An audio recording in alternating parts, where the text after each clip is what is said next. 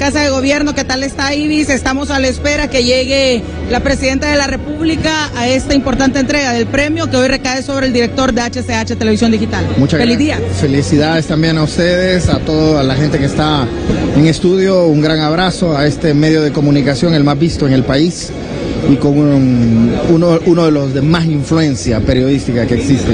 Bueno, congratulado con el premio que va a recibir nuestro amigo de décadas, Eduardo Maldonado.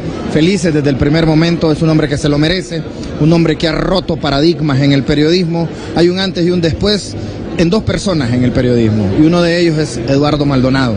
Le cambió el sentido a lo que era informar y de verdad, eh, bueno, felicidades a él y a toda su familia y a esta casa televisora, a ustedes también, muy merecido, porque Eduardo logra esto porque tiene un gran equipo.